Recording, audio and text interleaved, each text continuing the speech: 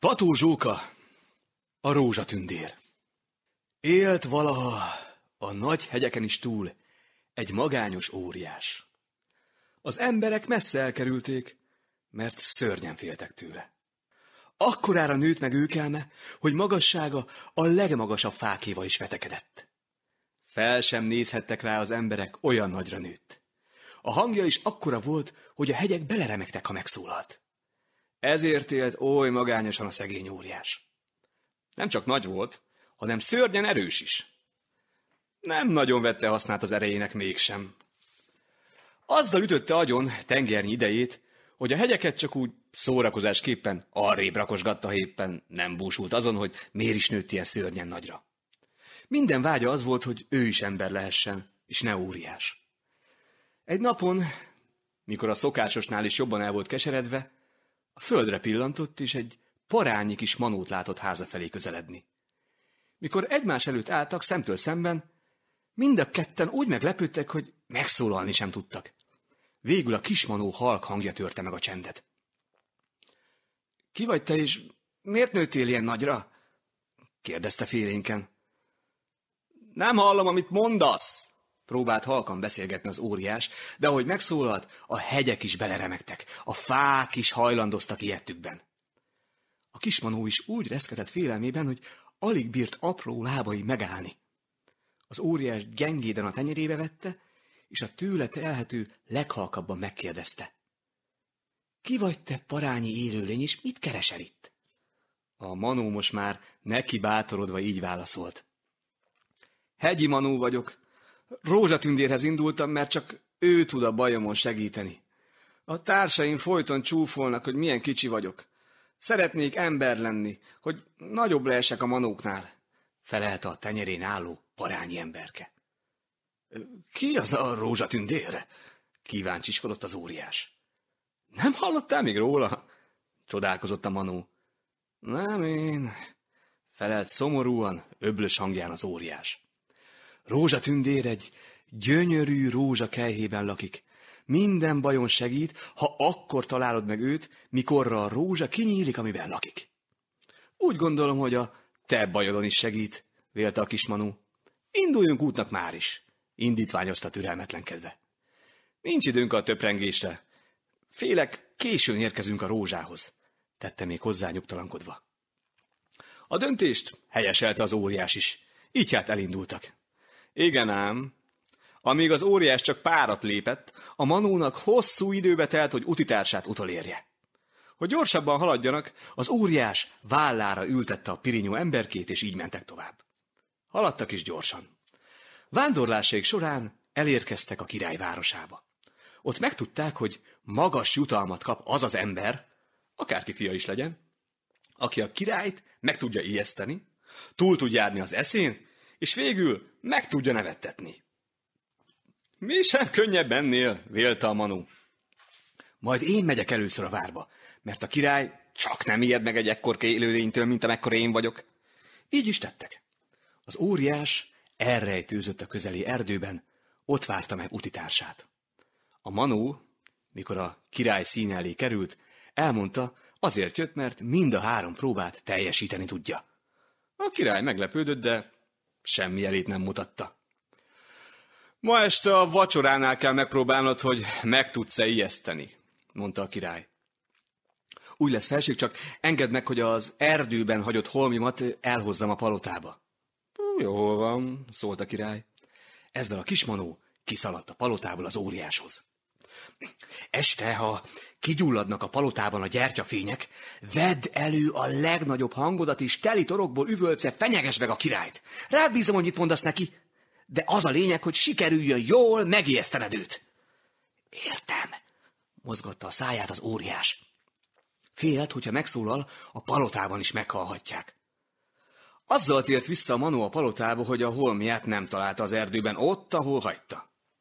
Ne búsulj egyet sem, szólt a király. Ha kiállod a próbát, adok én neked olyan cipőt, ruhát, hogy csodájára járnak. Mikor mindenki leült a vacsorához, és a leves kanalaszták nagy élvezettel, egyszer csak egy dörgő hang szólalt meg. Nem igazság, hogy ti jól laktok, én meg éhen halok. Megállott a kanál egy pillanatra a király kezében, de aztán úgy tett, mintha mi sem történt volna. Evett tovább. Nem halljátok, amit mondok? Szólt mérgesen dörgő hangon.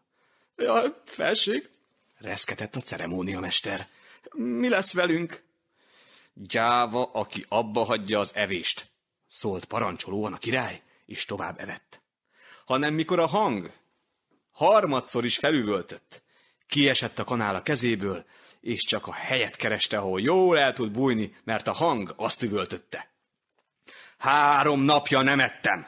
Azt fogom megenni, amit a palota ebédlőjében még találok. A király példáját mindenki követte, csak a parányi manó falatozott nyugodtan a helyén. Nem ismert reggelig előjön senki a rejtek helyéről. Így az óriás is kedvére lakmározott hajnalig. Akkor újra visszament az erdőbe. Másnap reggel a király állta a szavát. Olyan ruhát és cipőt adott a parányi legénykének, amilyet még senki sem látott.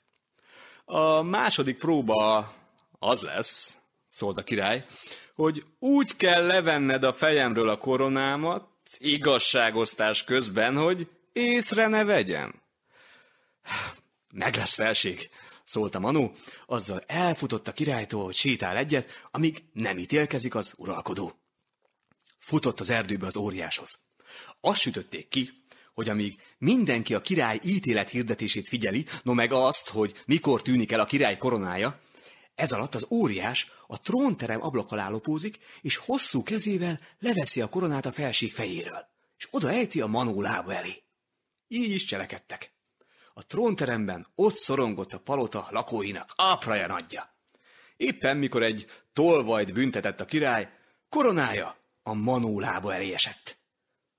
Akkor a csend lett a trónteremben, hogy a légy zümmögését is meghallották. Itt a koronája, felséges királyom, szólt a Manó udvariasan meghajolva. Belátta a király, hogy sikerült a második próba is, mert túljártak az eszén. A másnapi lakomán kellett megnevettetni a Manónak a királyt és házanépét. Járt is a parányi Manó olyan táncot az egybegyűlteknek, amilyet még életükben nem láttak. Járt az asztal alatt, az asztal tetején a tányérokkal, de még a király fején lévő koronájára is feltelepedett széles nagy jókedvében. Mindenki a hasát fogta nevettében. A király így könyörgött. Hagyd abba, mert belefáradtam a nevetésbe. De a legényke csak járta tovább vidáman. Akkor lett vége a táncnak, amikor a manó is belefáradt. A mulatság végén a király megduplázta az ígért jutalmat, és útjára bocsátotta a legénykét. Nagy nehezen elvonszolta az erdő széléig a pénzelteli zsákocskát, csak utána ment az óriáshoz. Az félkézzel kapta fel a zsákot, és könnyedén a vállára tette. A manó is elfoglalta helyét az óriás vállán, és vígan folytatták útjukat. Könnyedén vették az akadályokat, így gyorsan haladtak céljuk felé. Már napok óta mentek megállás nélkül, mikor így szólt a manó. Pihenjünk egy kicsit. Éhes is vagyok, meg álmos is. Jó van, szólt az óriás. Egy patak partján táboroztak le, és miután jól laktak, és ki is aludták magukat, úgy döntöttek, hogy körülnéznek egy kicsit. Ahogy a patak partján sétálgattak, a manó felkiáltott. Menjünk tovább! Itt a rózsa, amit keresünk! És egy gyönyörű, fehér rózsára mutatott, ami éppen ki volt nyílva. Kejhében ott ült a rózsatündér, aranykoronával a fején. A két vándor örömében azt sem tudta, hogy is mondja el jövetelének célját, de a rózsatündér mosolyogva így szólt hozzájuk. Örülök, hogy éppen időben érkeztetek, így teljesítem kéréseteket. Szóljatok hát bátran, bíztatta őket. Emberek szeretnénk lenni, mondták egyszerre a vándorok. Értem, szólt a tündér komolyan, Figyelmeztetlek benneteket, hogy jól gondoljátok meg a dolgot, mert visszaváltoztatni mostani alakotokra nem tudlak többé, bárhogy is kérnétek rá. Egymásra nézett a Manú és az óriás. nem másítjuk meg a kérésünket, mondták. Unom a magányosságot, dörmögte az óriás. Én meg azt tudom, hogy a társaim folyton kicsúfolnak, mert pici vagyok, vágta rá a Manú.